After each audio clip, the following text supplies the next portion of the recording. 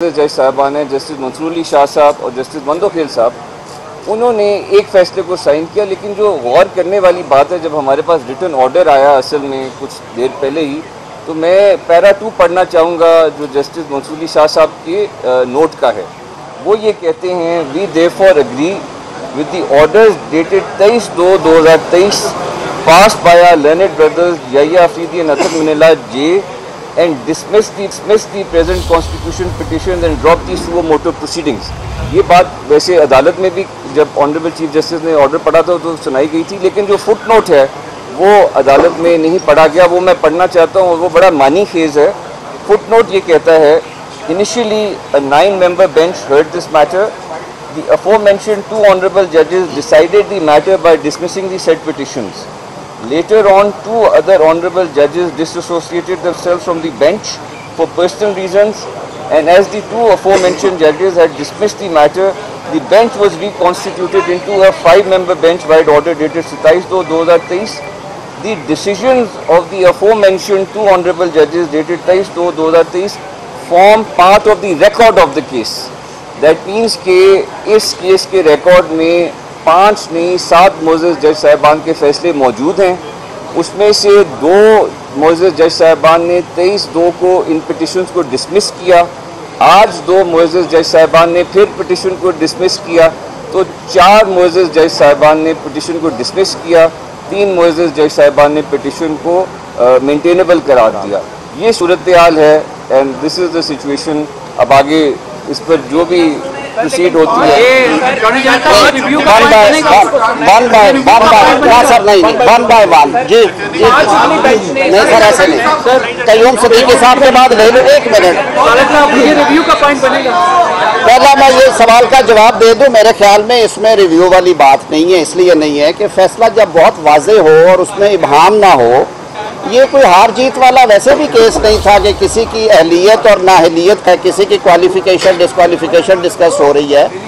ये एक आइनी नुक्ता आया और उस आइनी नुक्ते की मेंटेनेबिलिटी के ऊपर पहले बहस छिड़ी और उस बहस के नतीजे में दो बातें सामने आई कि जिन दो मोजस जज साहबान ने अपना माइंड डिस्क्लोज कर दिया था, इस मामले को रेफ़र करते हुए, उनके ऊपर एतराज़ उठाया गया कुछ जमातों के वकला की तरफ़ से और पाकिस्तान बार काउंसिल की तरफ़ से जो वकला तंजीम है, उन दो जज साहबान ने अल्टीमेटली रजा कराना तौर पे अपने आप को बैंक से अलग बैंक से अलग कर लिया रिक्यूज़ कर लिया। मैं समझता हूँ कि उनका ये फैसला साहिब था क्योंकि कहते हैं कि इंसाफ होता हुआ नज़र आना चाहिए और उसकी कोई बैकग्राउंड भी और हिस्ट्री भी थी उन दो जज साहबान के हवाले से।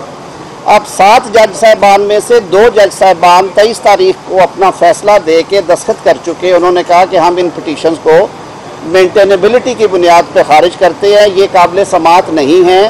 सू मोटो का इख्तियार भी इस केस में इसलिए इस्तेमाल नहीं होना चाहिए कि मामला हाई कोर्ट में पेंडिंग है और एक सौ चौरासी तीन की जो सुप्रीम कोर्ट की अदालत उज़मा की पावर्स हैं, उनके बारे में भी उन्होंने ये राय दे दी।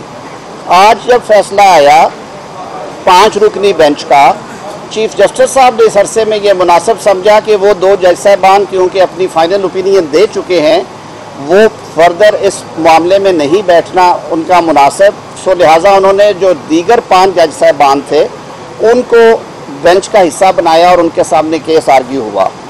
आज के फैसले में तीन जज साहबान ने कहा कि ये प्रोसीडिंग्स मेंटेनेबल हैं और उसमें उन्होंने मज़ीद एक दो चीज़ें लिखी जो अटर्नी जनरल साहब ने आर्ग्यू कल की थी कि एक तो जो आइन का आर्टिकल 254 है, जो कि ये कहता है कि अगर आइन के तहत किसी चीज़ को एक मुकर्रा वक्त में होना है और वो चीज़ उस मुकर्रा वक्त में नहीं हो सकी, वो एक्शन नहीं हुआ तो इस वजह से वो गैर आइनी नहीं होगा कि उस टाइम फ्रेम में, यानी कि इंतबात नबे दिन में नहीं हुए।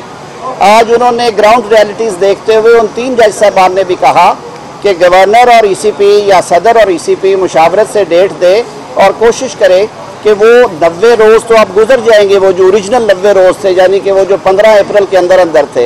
लेकिन अर्लीस्ट पॉसिबल जहाँ पे इंतबात हो सकते हैं, मुशावरत के बाद वो कोशिश करें। इसमें कोई दूसरी राय नहीं है, लोगों की भी ये राय है। हम भी समझते हैं कि अगर हालात साजगार हों, अगर इंतबात इंसानी जानों से ज़्यादा कीमती हैं या अगर मुल्की हालात इजाज़त दे रहे हैं तो 30, 40, 50 दिन में हो। अगर वो 80, 90 दिन में होने हैं तो ये डिस्क्रेशन भी आइन देता है इलेक्शन कमीशन और बाकी स्टेक होल्डर्स को। इस बहस को छोड़ देते हैं। आज की बहुत क्लियर जजमेंट है।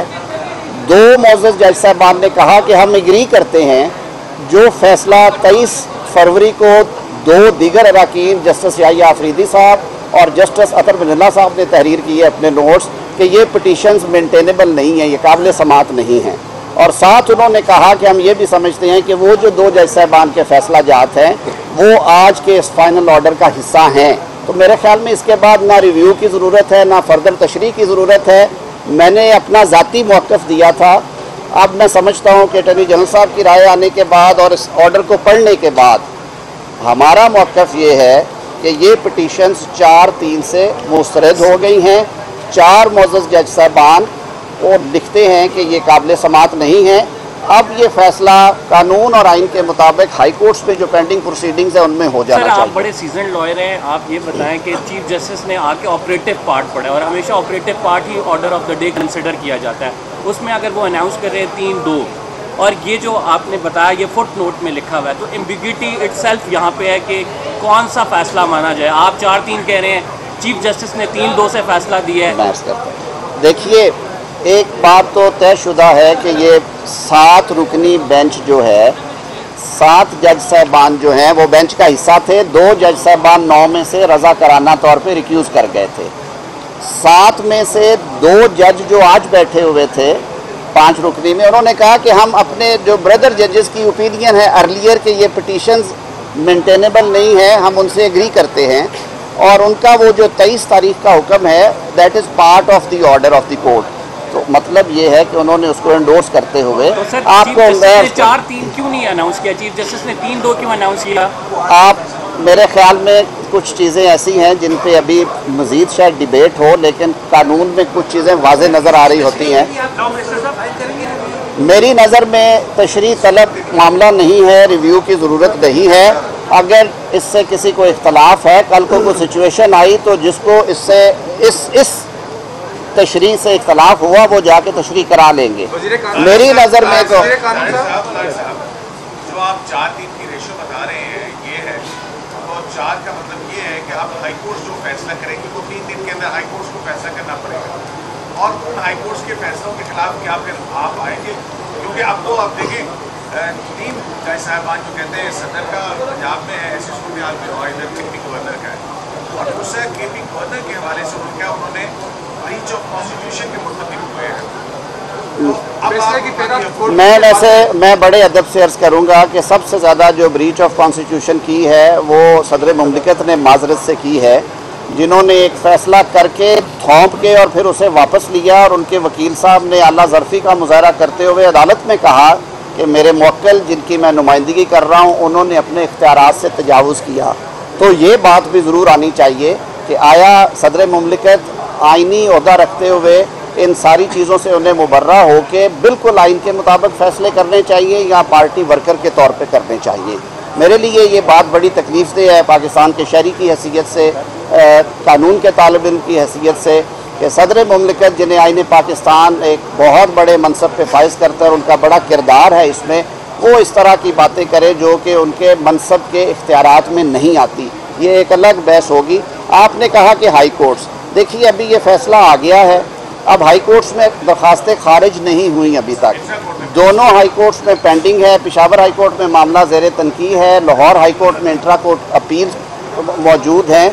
इसकी तशरी उन दोनों हाई कोर्ट्स में भी हो सकती है तो तो आप मुतासर नहीं होंगे तीन फाजिल जज साहब साहबान सुप्रीम कोर्ट के आप नहीं समझते चार चार।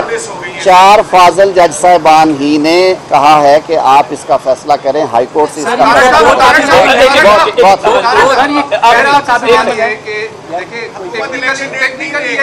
जी। नहीं नहीं हुकूमत का तो मैं बिल्कुल नहीं। अच्छा मैं ये बात भी वाजे कर दूँ, कल भी पाकिस्तान मुस्लिम लीग नून के, पाकिस्तान पीपल्स पार्टी के और जे यू आई एफ़ के वकला साहबान अदालत में मौजूद थे। ये बात हम ऑन रिकॉर्ड कह रहे हैं कि कोई इलेक्शन से नहीं भाग रहा। हमारा सिर्फ़ ये कहना है कि इंतबात की तारीख और इंतबात के इनका इस मुल्क में हमेशा आइन कानून के मुताबिक होते रहे हैं और तारीखों में रद्दबदल होता रहे। ये पहली दफ़ा नहीं होगी कि तारीखों में रद्द बदल हो। हमारे वकील साहब ने एक मौक़ पेश किया ये मुकदमा मैं कौम के सामने रखता हूँ कौम खुद डिसाइड करे। इजाज़त देंगे मुझे?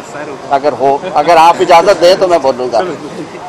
इतनी बात उन्होंने कही कि पैंतीस अरब रुपए के खर्च से डिजिटल मरदमशुमारी हो रही है जो कि आज शुरू हो गई है और उसका रिज़ल्ट जो है वो तीस अप्रैल को दिया जाए पाँच साल से ये बहस चल रही है कि जो पिछली मरदमशुमारी है, वो दुरुस्त नहीं थी, उस पर तहफ़ात हैं, बहुत से सेगमेंट्स को सोसाइटी के। उसके बाद पता चलेगा कि मुल्क के किस हिस्से की आबादी का तनासब कितना है और हमारा आइन कहता है कि कौमी असम्बली में नशस्तों की जो तकसीम है, वो रकबे पे नहीं, वो आबादी पे होगी। हमारे मुल्क के जो फेडरेटिंग यूनिट्स हैं, उनमें हल्का बंदियों के बाद उतार चढ़ाव की उम्मीद है। सूबों के अंदर भी पंजाब में आपको पता है कि सराइकी सूबा या मुल्तान सूबे के बारे में लोग कहते हैं कि जी, साउथ पंजाब में वो फंड्स नहीं जाते और फंड्स की तकसीम भी आबादी के तनासब से होती है। रिप्रेजेंटेशन भी। आज पंजाब में आप इलेक्शंस करा रहे हैं सेंसस से पहले। कौमी असम्बली जाएगी सेंसस के बाद, अक्टूबर में। तो ये एक तो सबसे बड़ा कॉन्फ्लिक्ट ये आएगा कि जहाँ पे आबादी का तनासब कम या ज़्यादा हो गया, वहाँ पे कौमी असम्बली की सीटें और तनासब में फ़र्क पड़ेगा। सूबे के एक एक हल्के के ऊपर सारी फॉर्मेशन चेंज हो जाएगी। दूसरा दूसरा सदीकी साहब, दूसरी बात। मैं दो सौ चौवन इस, दो सौ चौवन सदीकी साहब, ज़रा एक मिनट मुझे दें। दूसरी बात यह है कि हमने तारीख से सबक सीखा, उन्नीस सौ सत्तर के इंतबात पाकिस्तान पीपल्स पार्टी जीत जाती अगर निगरान हुकूमतों के साथ तो शायद वहाँ पे तहरीकें ना चलती और मार्शल लॉ मुसलत ना होता। उन्नीस सौ सत्तानवे के इंतबात पे जब पूरी मुस्लिम लीग नून ने दो तिहाई ली, लोगों ने उंगलियाँ उठाई। इसके बावजूद कि अवाम का फैसला था 2002 मुशरफ साहब ने एल एफ़ ओ पे कराया, मर्ज़ी के लोग अपॉइंट करके। अठारहवीं तरमीम में पाकिस्तान भर की सियासी जमातें जिनमें तरीके इंसाफ भी शामिल थी 224 इंट्रोड्यूस करवा के एक मेकनिज़म फराहम किया कि आप निगरान हुकूमतों के साथ इंतबात कराएँ। अब आज दो सूबों में सियासी हुकूमतें कायम हो जाएँगी, कोई आइन और कानून ये इजाज़त नहीं देगा, ना देता है कि उन हुकूमतों को कौमी असम्बली के इंतबात के लिए सस्पेंड कर दिया जाए। और वहाँ पे लेवल प्लेइंग फ़ील्ड हो हो सकता है वहाँ पे मुस्लिम लीग नून की पंजाब में हुकूमत हो हो सकता है किसी और जमात की हो। सर, ये तमाशा चलता रहेगा। आठ महीने हम इस प्रोसेस में रहेंगे और फिर उंगलियाँ उठेंगी। इसलिए let election commission and other stakeholders decide के उन्होंने देखिए ये इलेक्शन कमीशन को इन सारे फैक्टर्स को देख के ये चीज़ भी तय करनी है। मैं नहीं कहता कि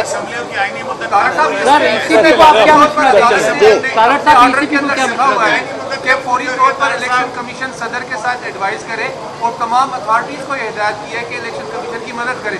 इसका मतलब कि मामला सारा इलेक्शन की तरफ़ ही जाएगा फिर आप सर कोई इलेक्शन से नहीं भाग रहा। ये एक आइनी पोजीशन थी जो कि आपने कहा आपके सामने रखना ज़रूरी थी।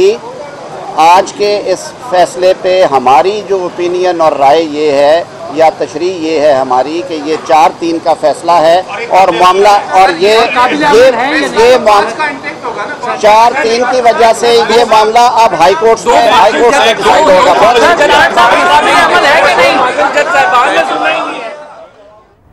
वज़ीर खान नजीर तारर और अटॉर्नी जनरल की मीडिया से गुफ्तु हमने अदालत से पूरा ताउन किया, किसी वकील ने तारीख नहीं मांगी। आज़म नजीर तारर ने कहा कि जस्टिस अथर मनला और जस्टिस याया आफरीदी ने दरखास्तों को मुस्तरद कर दिया है। दो जजेस ने रजाकाना तौर पर खुद को बेंच से अलग कर दिया है। दो जज साहिबान की हिस्ट्री भी थी। तीन जजेस ने कहा कि गवर्नर और सदर मुशावरत करें।